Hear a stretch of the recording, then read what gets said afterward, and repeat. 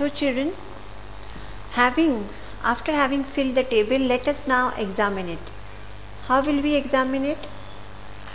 See, do all these persons have the same notion of development or progress? Table में जो हमने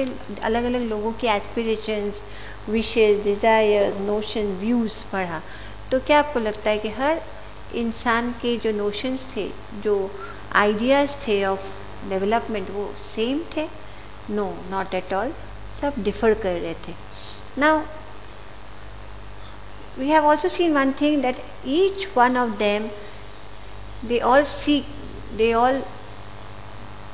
they all needed different things different types of things for their they all had different uh, plannings or goals for the development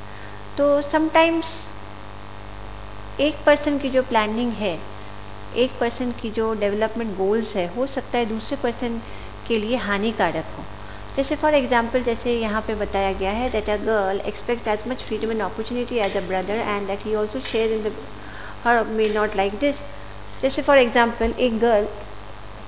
क्या wish करती है कि उसको उतनी freedom मिले, उतनी अपॉर्चुनिटी मिले फॉर ग्रोथ एंड डेवलपमेंट जैसे उसके भाई को मिल रहा है। Because you know children that India is still a patriarchal country a male dominated country यहाँ पे अभी भी ऐसे रिमोट एरियाज़ है जहाँ due to illiteracy narrow outlook और right people being superstitious girls को बॉयज़ को boy in a household को ज़्यादा इम्पोर्टेंस दी जाती है दैन अ गर्ल चाइल्ड को right so a girl may expect a girl may aspire in such a family कि उसको भी उसके भाई की तरह फ्रीडम मिले, उसको भी हायर एजुकेशन करवाने के लिए परमिशन मिले और राइट उसके भाई को ये उसके भाई भी जैसे वो हाउस होल्ड वर्क करती है, उसके भाई भी हाउस होल्ड वर्क करे। तो उसकी ये जो एस्पिरेशन है कि कि उसके भाई को जैसे फ्रीडम मिल रहा है, उसको मिले, उसके भाई भी हाउस होल्ड वर्क करें, हो सकता है उसके ब्रदर को पसंद ना हो। Similarly to get more electricity industrialist may want more dam it is possible that industrialist in or to get more electricity okay so that they can continue the production process without any hurdles तो ये industrialist may wish for dams more dams in the country for the development but this is not possible this this view of theirs this development planning of theirs may submerge the land and disrupt the lives of the people who are displaced such as tribals उनकी ये जो plan है dam बनाने की हो सकता है tribal लोगों के लिए हानिकारक हो लैंड डूब जाए और राइट और पूरे लोग जो है पूरे लोगों की लाइफ खतरे में आ जाए तो इससे हमको क्या पता चल रहा है कि एक पर्सन आपकी जो डेवलपमेंट प्लान है, हो सकता है वो दूसरे पर्सन के लिए हानिकारक हो। Okay? So they might ascend this and refer small check dams और टैंक्स और irrigate their land so two things are quite clear children that is first is different people can have different development goals and what may be development for one person may not be development for the other So, it may be destructive for the other. Okay? तो दो thing clear हो गया to thing that अलग अलग लोगों की अलग अलग डेवलपमेंट प्लानिंग्स होती है और एक पर्सन की डेवलपमेंट प्लानिंग हो सकता है, दूसरे, जो एक पर्सन की डेवलपमेंट गोल्स है, वो दूसरे पर्सन के लिए हानिकारक हो, उनकी वो डेवलपमेंट गोल्स ना हो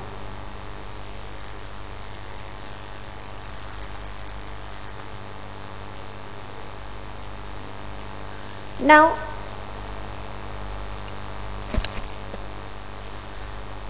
overall if we again examine the table 1.1 we'll come to know that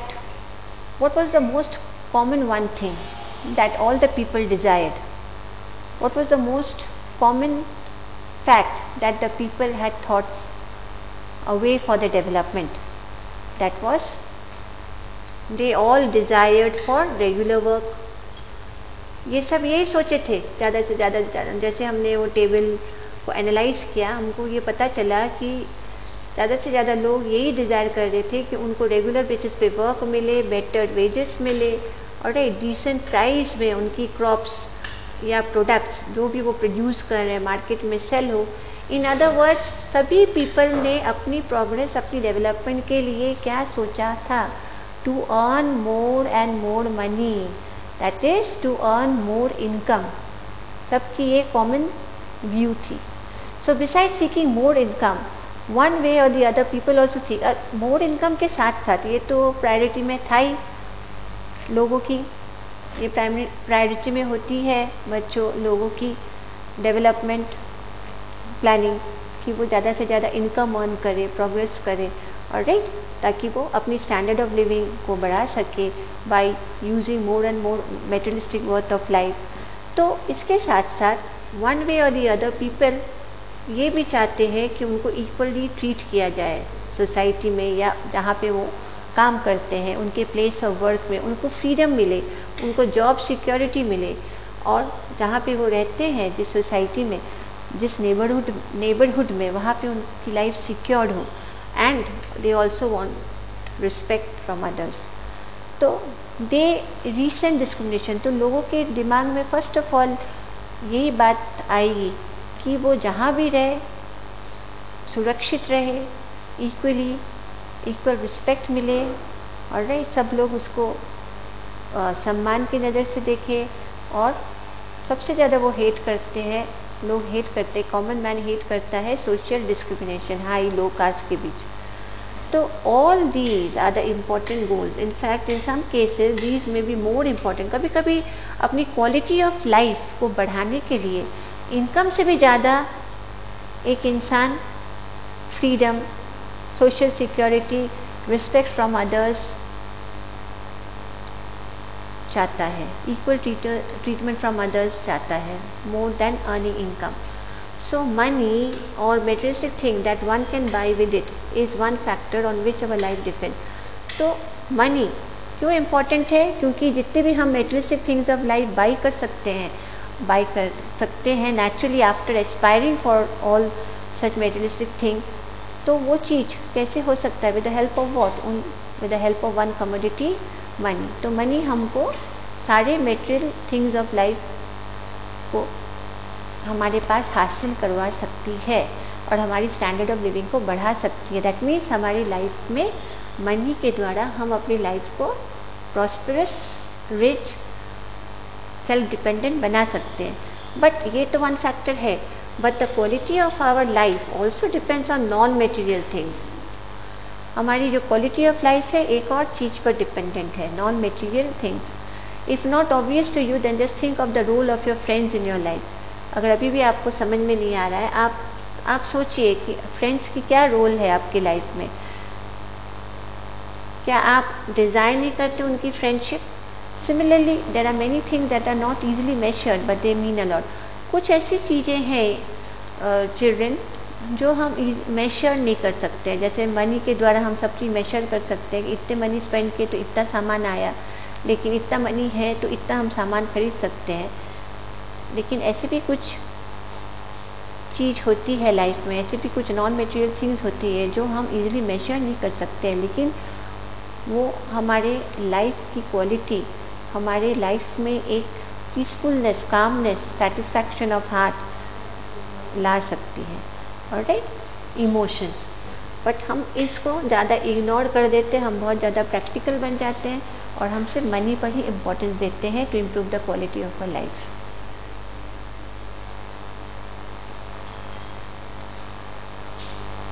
However, it will be wrong to conclude that what cannot be measured is not important. तो इसलिए हम ये नहीं कह सकते कि जो चीज़ हम measure नहीं कर सकते with the help of money, that is not important for us. Consider an example. If you get a job in a far off place, before accepting it, you would try to consider many factors. Apart from income, what will you write? Facilities for your family, working atmosphere or opportunity to learn, and in other case, a job may be, give you less pay but may offer regular employment but enhance your sense of security. Suppose, आपको एक ऐसा job मिला फार of places आप उस job को, उस job को job में जाने से पहले what are the thing that you will think in your mind that is first apart from the income which you are getting. First you will think about the facilities for your family. Yes, that is by working so far away from your family, from your children, will are you not doing are you not doing something very are you not doing something selfish for them because you won't be able to give much time to your family your children then you will think about the working atmosphere the place of work okay whether the place of work will be would be healthy then you would also think about the opportunity to learn अगर आप job भी कर रहे हो सुबह से शाम तक और घर आके थक के आप खाना खा के सो जाते हो तो आपके पास अपॉर्चुनिटी नहीं रहती है आपके पास अपॉर्चुनिटी नहीं मिलेगी कि आप फर्दर स्टडीज़ करके अपनी प्रॉस्पेरिटी को बढ़ाए और फर्दर स्टडीज़ करके और अच्छी जॉब कहीं और मिलने की अपॉर्चुनिटी को अवेल कर सकें। तो ये सारी अपॉर्चुनिटी इन सारी चीज़ों के बारे में आप सोचोगे। और अगर आपको एक ऐसा जॉब मिला, जहाँ पे पेमेंट कम है, लेकिन जॉब सिक्योरिटी है मतलब आपको रेगुलरली आप एम्प्लॉयड हो, है ना? कभी भी किसी भी वजह से आपको सैक नहीं किया जाएगा, आपकी जॉब सिक्योर्ड है तो आपकी आपकी फ्यूचर सिक्योर्ड है तो आप क्या करोगे? नेचुरली आप इस जॉब को ही ज़्यादा प्रेफर करोगे। तो another job however may offer high pay but no लेकिन अगर ऐसा जॉब आपको मिले जिसमें आपकी पेमेंट हाई है तो पहला जॉब आप, क्या था कि आपकी, आपको पेमेंट कम है सैलरी कम है, लेकिन जॉब सिक्योरिटी है। आपको डर नहीं है कि आज मैं काम करने जा रहा हूँ, कल मेरे जॉब वो भी ना हो, मैं सैक हो सकता हूँ। आपकी वहाँ पे place of work safe and sound है। राइट कोई